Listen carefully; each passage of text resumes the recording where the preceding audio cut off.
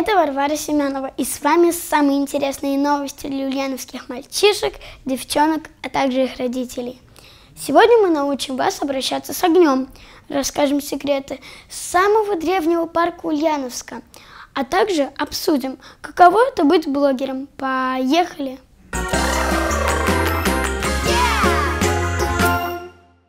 Лето – время солнца, жары и пожаров – Хотя виноваты в них совсем не солнце и жара, чаще всего причиной возгораний становятся люди, которые не умеют обращаться с огнем. И чтобы с вами ничего такого не случилось, мы подготовили наш урок по пожарной безопасности.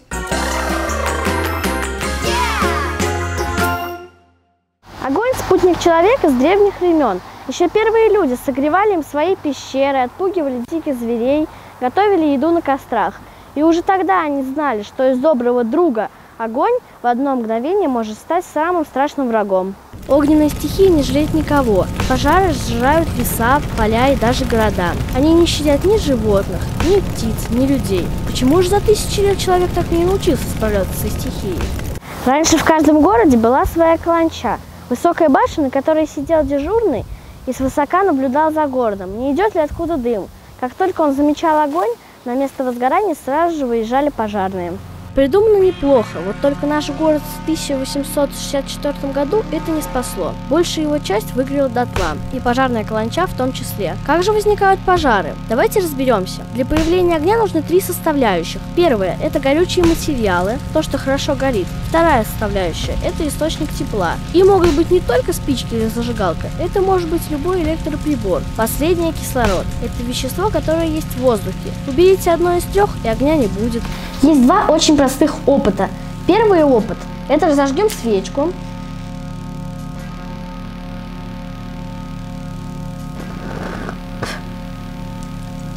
А теперь плотно накроем ее.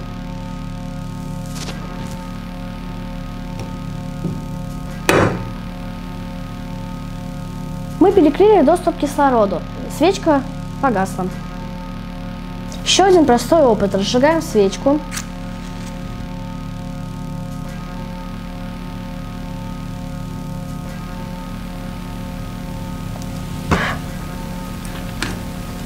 А теперь капнем на нее водой.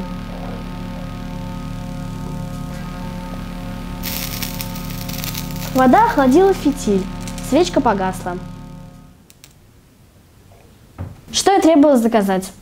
Сложнее всего исключить последнюю составляющую. Мир вокруг нас наполнен горючими материалами, дерево, ткань, пластик, масло, химические жидкости. Все это вспыхивает быстро и тушится сложно. Вода не всегда может помочь. Иногда она даже делает пожар сильнее, а часто жар горящих предметов настолько силен, что невозможно даже приблизиться к ним для тушения.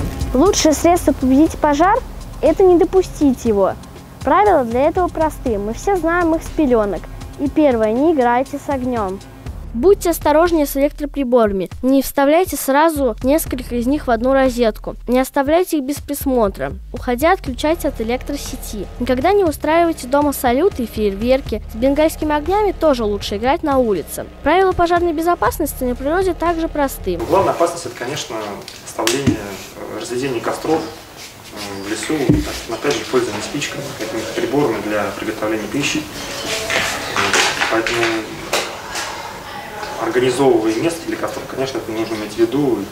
Это желательно организовать э, устройство ямы, э, окопать вокруг, э, ну, как мы называем, сделать минерализованную полосу, чтобы в случае, если загорится трава, например, чтобы дальше, дальше этой полосы не было. А теперь главное правило. Если возгорание все-таки случилось, не тушите его сами. Помните, пожар не время для бравады. Срочно покиньте опасное место и сообщите взрослым о беде. Телефон пожарной службы для всех одинаков. 101 и 112. Главным, главное, что нужно понимать при пожаре, то, что нужно защитить, защититься от дыма по возможности. Ну, соответственно, это самый простой способ, это лечь на пол и передвигаться ползком в присядку соответственно, к выходу, к окну, если есть балкон, то к балкону.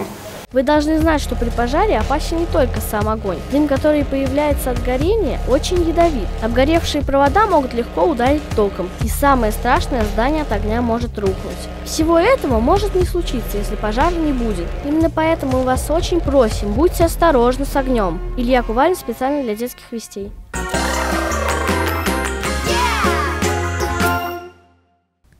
Вас не был в Виновской роще? Скажите, нет таких? А вы ходили по древнему доледниковому лесу? А склепы видели? Что, даже у пруда не бывали? А говорите, были. Ну ничего, сейчас мы вам обо всем расскажем.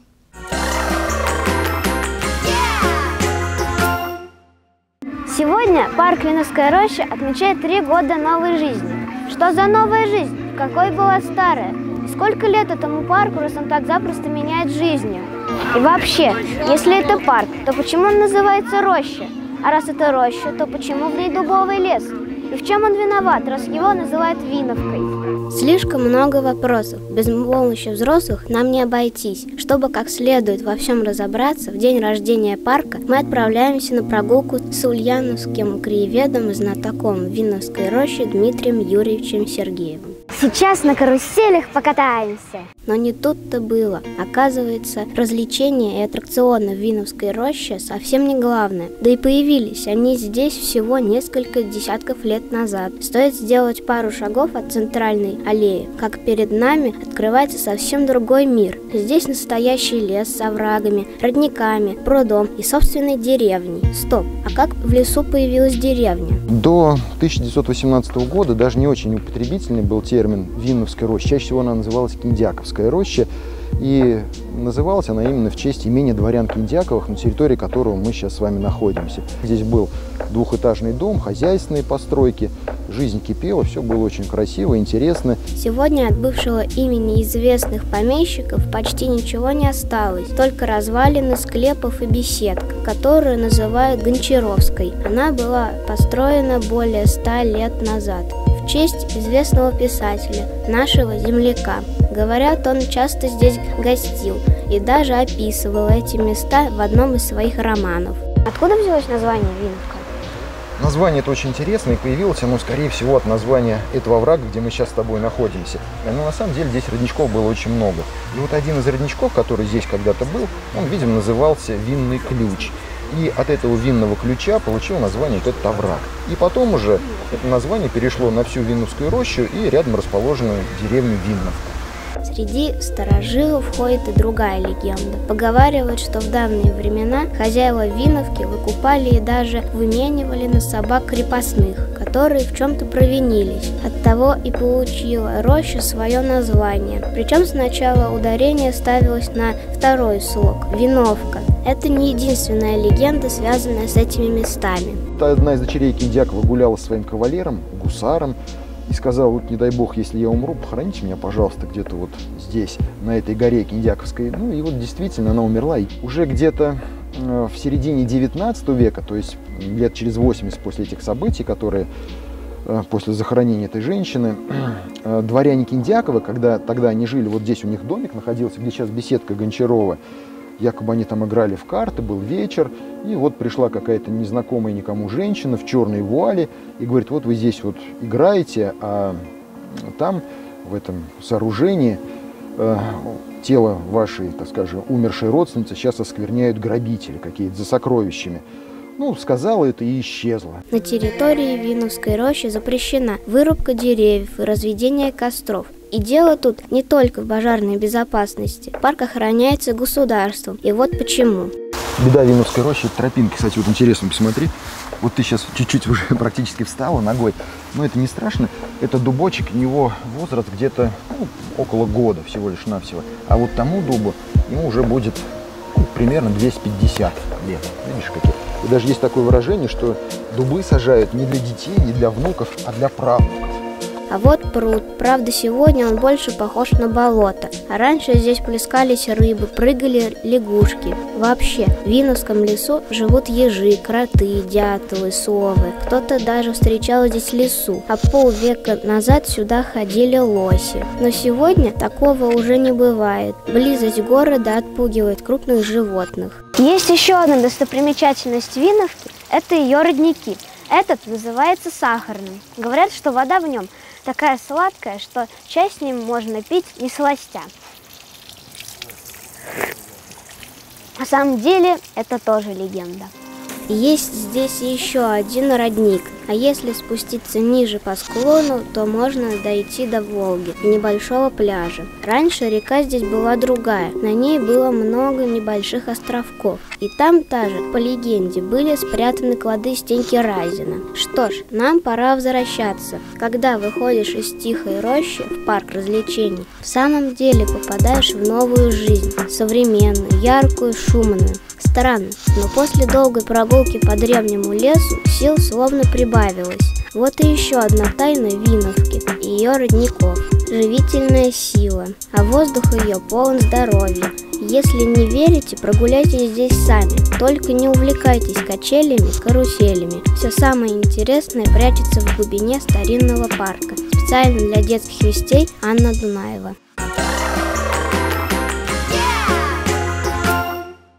А вы думали, кем вы хотите стать, когда вырастете? Я решила, я буду блогером. А чего тут сложного? Пять минут за компьютером посидела, и все, ты уже звезда Ютуба. И ничему учиться не надо, и трудиться. Так ли это все обстоит на самом деле, разбирался Тимур Ямангулов.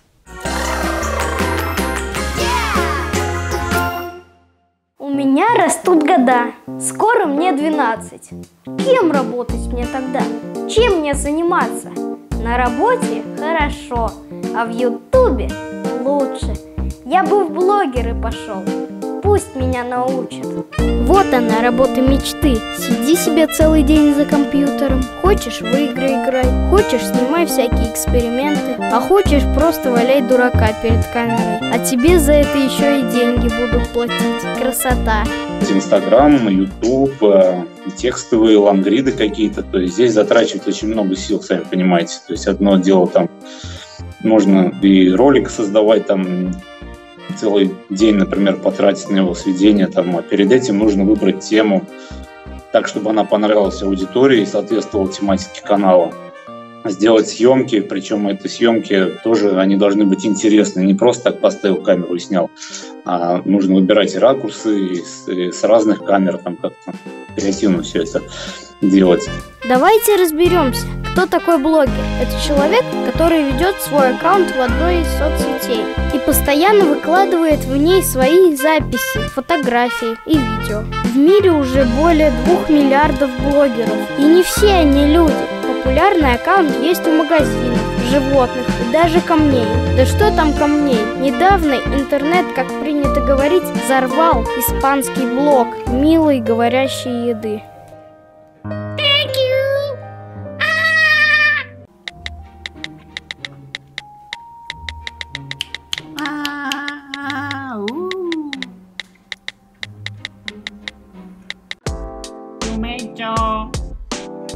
Конечно, снимают эти ролики совсем не печеньки и не кексики. За каждым выпуском работа целой команды. Сценарист, оператор, мастер по спецэффектам, специалист по монтажу. Зачем все это надо?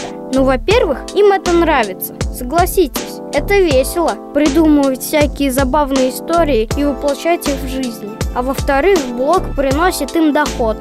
Схема достаточно простая, то есть блогер создает интересный контент, э, людям его интересно читать, появляется большая аудитория, и, соответственно, этой аудитории уже можно представлять какую-то рекламу. Вот рекламодатели, они платят э, за рекламу вот вашей, для вашей аудитории.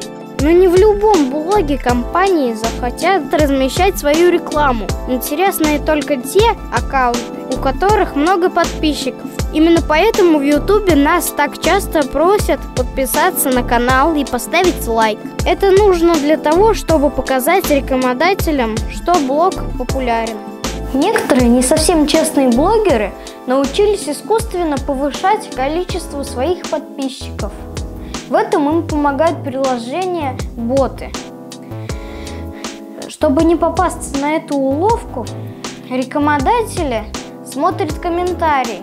Если беседа ведется активно, значит блог точно популярный. Итак, с чего нужно начинать? Опытные блогеры советуют в первую очередь определиться в своей теме аккаунта. О чем будет ваш блог? Что вы будете на нем делать? Про что рассказывать? Мешать в кучу компьютерные игры, путешествия и советы по красоте не стоит. Разные темы интересны разным подписчикам. Амига строго следует советам профессионалов. Она начинающий блогер. Ее канал уже несколько месяцев. Видео у меня с разными жанрами, но в основном у меня видео разговорные. То есть я рассказываю подписчикам свои истории и пытаюсь также развеселить подписчика. И недавно у меня появился новый проект, он называется «Кулон». Это мини-сериал. Там э, я придумывала сама сюжет, сценарий и разные образы. Итак, вы определились с контентом. Так называется все то, чем вы хотите наполнять свой канал. Следующий шаг. Определитесь с оформлением.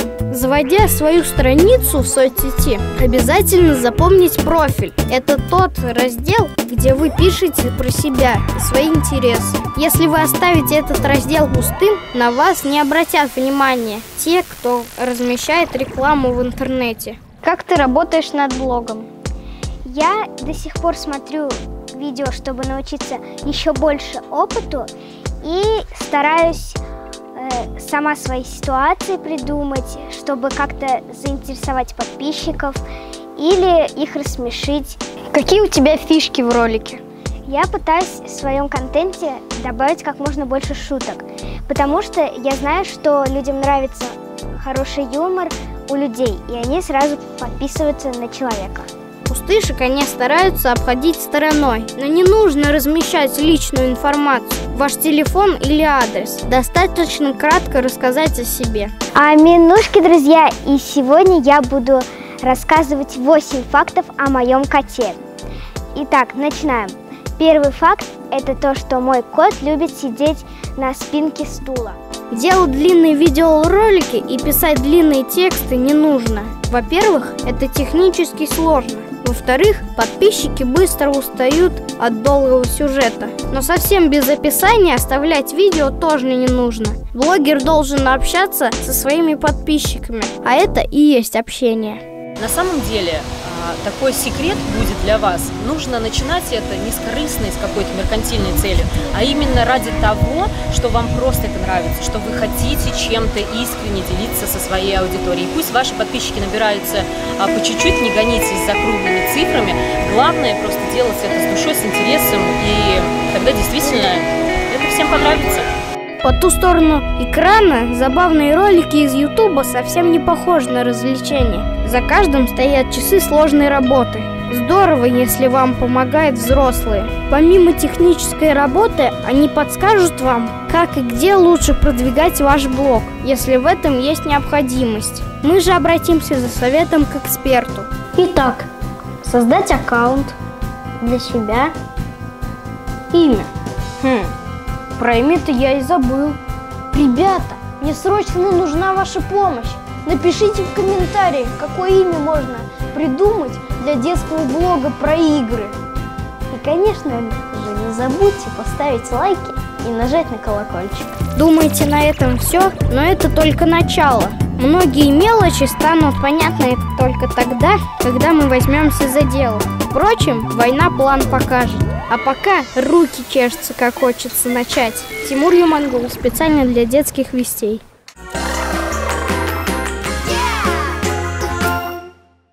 Вот и вся ценная информация на сегодня. Согласитесь, было интересно. Увидимся через две недели. А пока мои коллеги расскажут, какие праздники отмечаются на этих выходных и расскажут о погоде. И нам пора прощаться. До новых встреч! 3 августа день арбуза. Я ничего не знаю про арбузы, потому что я их не ем. В Японии изобрели квадратные арбузы. Я неделю назад желтый арбуз видел. В древние времена там были арбузы совсем не похожи. Там было больше корки и меньше сочного красного питательного вещества. Вот. Самые вкусные арбузы берутся с поля. Нужно выбирать самый твердый. Круглые арбузы надо сначала разрезать посередине. Потом надо арбузы поделить еще напополам.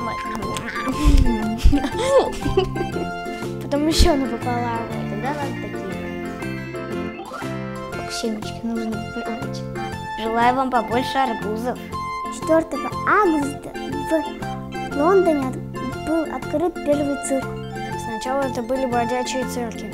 Там были совершенно другие актеры, другие животные. Сейчас у нас есть про фокусы, там, про животных и есть э, экологический. Я был один раз в цирке. Мне больше всего понравились звери. Фокусник, акробат и воздушный акробат. А еще там был дядька Клоун, который, который, который как привидение пришел под покрывалом. Думаю, надо придумать свой цирк, где там, например, делают фаер-шоу, где делают лазерное шоу мечами. А с другой стороны, мучить зверей это тоже неправильно. Лично я бы попраздновал так, чтобы всех родителей загнал в цирк. Всех поздравляю с, с наступающими праздниками. Пока. Эй, Лето, куда ты делась? Спросите вы меня. А я вам отвечу. Это август, последний месяц лета. Он всегда прохладнее остальных. Жары уже не будет, но через пару недель потеплеет. Так что запасаемся ветровками, резиновыми сапогами и терпением. Ваш инструктор по погоде Глеб Шишов. Bye.